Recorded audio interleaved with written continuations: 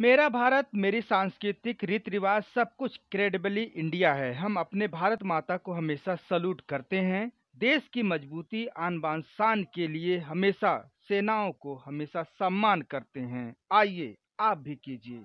ना रुका हूँ, ना रुकूँगा, सीना तान के बॉर्डर की रक्षा करूँगा। हे भारत के दुश्मनों, कान खोलकर सुन लो, जो बॉर्डर पर आएगा, खाक होकर जाएगा। मेरे फौजियों में वह आदम शक्ति है, जो मिनटों का काम सेकेंडों निपटाने में हसरत रखते हैं।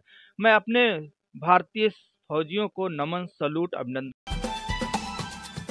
नमस्कार, मैं हूँ लालचंद सोनी आसिबा टाइम्स में आप सभी का स्वागत है। आओ चलें। टीवी और रेडियो के पास और मोबाइल के पास। मन की बात सुनने। देश के प्रधानमंत्री श्री मोदी जी मन की बात लगातार 2014 से ही जनता जनार्दन से पूछते आ रहे हैं। अपील भी करते हैं और अपने देश के जनता से हाल चाल भी पूछते हैं। यह मन की संदेश बहुत बड़ी प्रोग्राम है। सभी भारतीयों को सुनना चाहिए। अपनी मन की बात, दूसरों की मन की बात या सुनी जाती है। मन की संदेश में आइए आपको लेकर चलते हैं। जनता जनार्दन की क्या मन है और क्या राय देते हैं? मन की बात संदेश में। आइए आपको सुनाते हैं।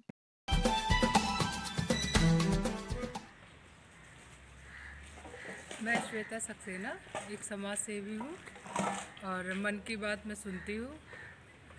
बाकी सभी लोगों को मन की बात सुननी चाहिए। उससे बहुत अच्छी अच्छा लगता है और बहुत अच्छी जानकारी भी मिलती है।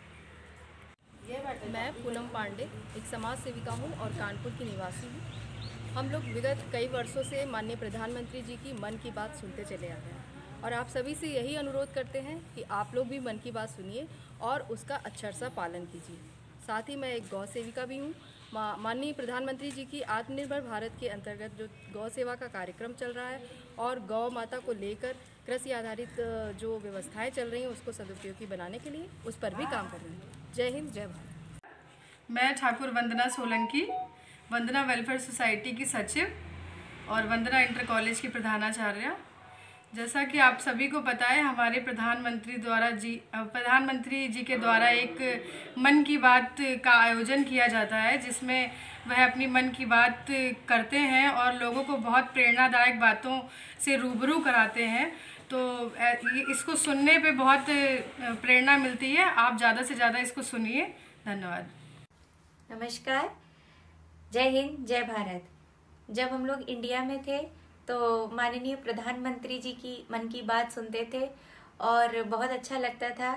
अब हम लोग जापान आ गए हैं तो यूट्यूब के थ्रू या किसी ऑडियो के थ्रू हम लोग मन की बात सुन लेते हैं और बहुत मिस करते हैं उनकी बात को, लेकिन जापान आके हर हर मोदी, हर हर मोदी के जब नारे सुने थे हम लोगों ने, वो साका में आए थे तो बहुत अच्छा लगा था।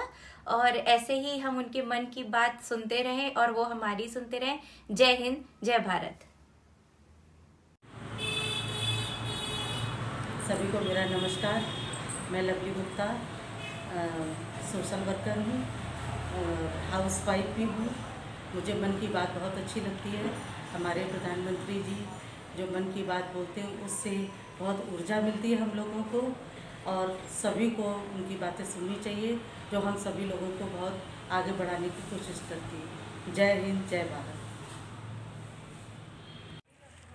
मैं ममता राजपूत, मैं एक समाज सेविका हूँ और मन की बात सुनती हूँ। हर किसी को प्रधानमंत्री जी की मन की बात सुननी चाहिए। मन की बात सुनना बहुत अच्छा है और हर इंसान को फील करना चाहिए। नमस्कार दोस्तों मेरे चैनल को सब्सक्राइब लाइक करें और आइकॉन को ज़रूर दबाएँ ताकि आने वाले वीडियो को आपको नोटिफिकेशन मिल जाए। का समय चल रहा है आज